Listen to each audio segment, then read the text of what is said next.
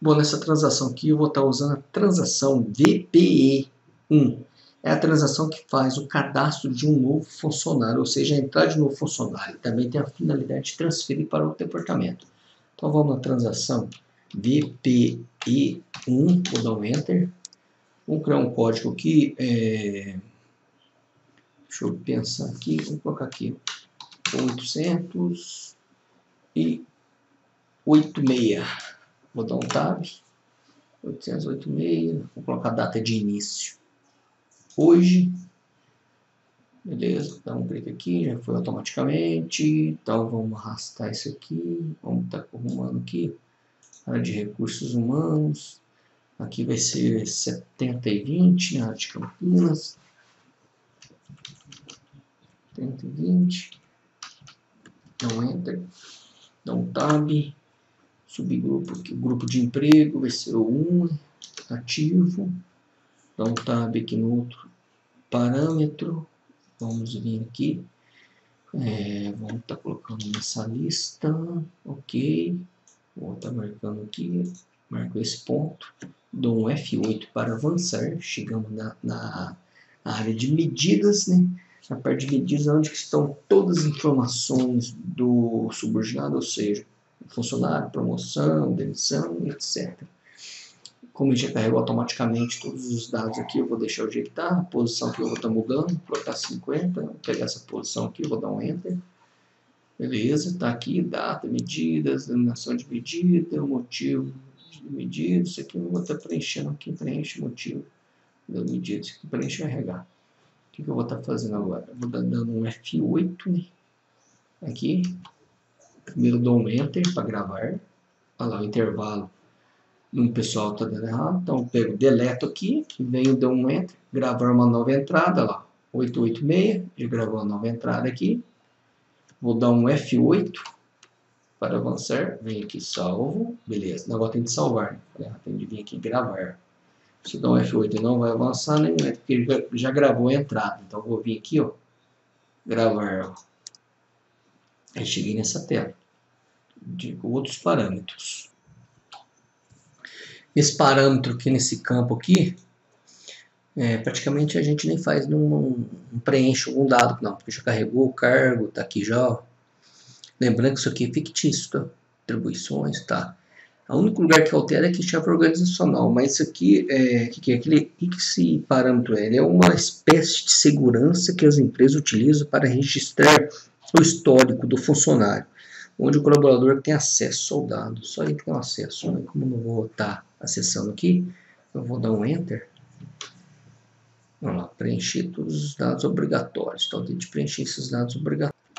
Tem de preencher aqui que eu esqueci. Vamos ver o campo aqui, ó. esse campo aqui é obrigatório.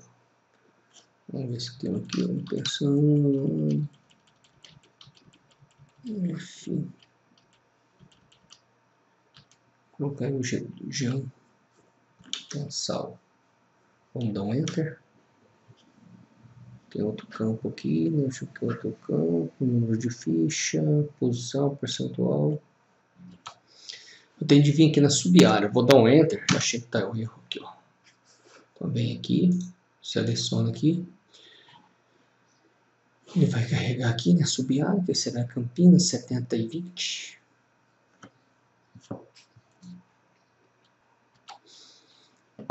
Estar gravando. Beleza. Então vou pegar aqui, subir área, vou dar um Enter. Ah lá, beleza. Agora sim, vou dar um Enter. Gravar. Beleza, já gravou lá. Tá vendo que tá gravado? Ó? Olha lá, gravado. Vou dar um F8 e não vai. Tem de vir aqui, ó, gravar. Ó. Tá gravando esses dados. Tá vendo? Esses são campos, todos campos obrigatórios, ó.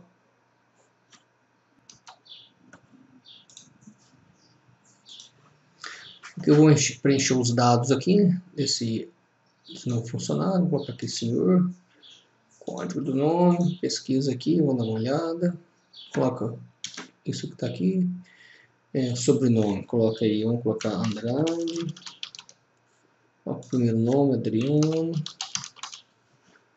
iniciais A, A, aqui título, arquiteto, é arquiteto.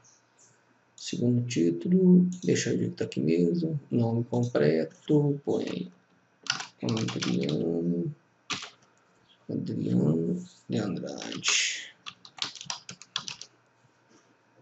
Data de nascimento, vamos colocar ele, vamos achar aqui, ó, data de nascimento fictícia aqui, vamos pegar aí. Opa, muda aqui, ó. 1, 1, 13. Vou mudar aqui porque eu não mudei o ano. Ver aqui, mudou o ano. Em 1980. 18. Beleza, 1980. Tá, aqui, vamos mudar aqui, né? Opa, põe aqui. 80, muda aqui. 12. Deixa eu arrumar aqui para 13. Ok.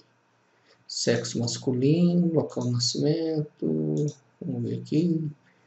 Tem essa pesquisa, município, região, puxado do país. Pode ver aqui o lugar do local. Coloca aqui. Educação Tomé das letras. Tomé das letras. País é o BR. Estado. É, aqui você coloca MG. MG, cidade que não precisa. Nacionalidade brasileiro. Tá aqui, só que pesquisa que esse campo aqui é obrigatório. Lembrando que todos os campos têm asterisco em vermelho, é obrigatório. brasileiro aqui, ó. Vem aqui. Hum, brasileiro. BR. Aqui ele carregou, esse campo novo está preenchendo. Raça, cor, só o Brasil que tem isso. Beleza, aí eu vou vir, vou dar um enter para ver se está tudo certo. O nome aqui que está falando, o nome inválido, né? São Tomé das Letras, vamos pesquisar aqui. BR, pesquisa. Aqui. Então muda. Coloca aqui, ó. Varginha. Dá um Enter. Beleza. Já confirmou. Minas Gerais. Já tá aqui. Aí eu vou vir aqui em salvar. Tá vendo? Dou Ctrl S. Hum, a cidade está inválida. Vou pesquisar. Eu mudei aqui para americano. Vamos ver se vai dar certo. Se esse cara mora em Nova York, lá Estados Unidos. Vamos ver. Agora vou dar um enter para confirmar. Ah lá, gravado. Entradas gravadas. É porque está dando aqui só cidades americanas, não cidades brasileiras. Por isso que não está registrando. Se eu colocasse São Paulo, daria certo. Vou vir aqui, ó. Agora vou. Tá vendo? Eu mudei aqui para Nova York. Nova York. Estados Unidos. Nova York, estado. É um brasileiro que mora lá idioma inglês. Eu vou vir aqui, ó, vou salvar um Ctrl S. Vai estar tá carregando outros dados. Ó. Aqui eu vou estar escolhendo esse aqui, ó, residência permanente, que eu estou escolhendo um dado só, entendeu? É, em seguida você vai ter o infotipo, esse aqui é o infotipo de endereço. Ó. Então eu vou pegar esse aqui, infotipo. Aí vai carregar essas informações aqui. Então, tipo de residência, permanente ou não. É, vou colocar aqui, de conta que mora lá em Nova York, vou colocar aí.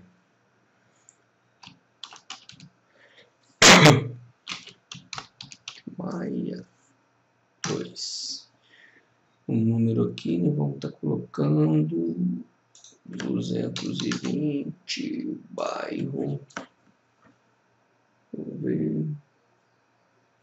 Colocar centro cidade, um, um bairro, região, vou dar aqui o bairro, o bairro aqui, isso, dois, cadê o bairro, cidade,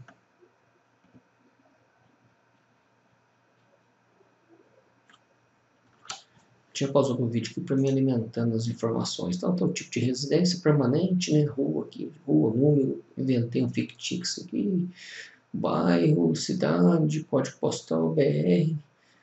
Eu vou dar um enter para ver se está tudo certo. Então, tá falando que é inválido esse código postal aqui, ó. troquei os dados aqui, ó. O bairro coloquei centro, cidade de São Paulo, coloquei o CEP São Paulo, 220. Ruth Maia, fizemos alterações aqui. Eu vou vir aqui em seguinte, tinha dado um enter lá, não existe tudo, mas eu vou vir aqui em seguinte. Conseguiu passar, tá vendo? Bom, vou voltar aqui, ó. Tá vendo? Vou vir aqui em seguinte. Consegui passar esse dado aqui. Esse dado aqui, ó, sugerente no pessoal de vendas, conhecer a área, a região que ele atua. Beleza, preciso preencher no caso contrário, não vou preencher nada aqui, vou vir avançar.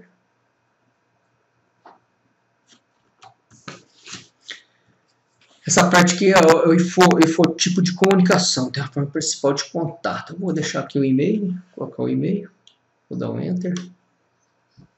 Vamos lá, e-mail, vou colocar o e-mail aqui, vou inventar o e-mail, um pouquinho Adriano, ponto, Adriano, é, T, C, é,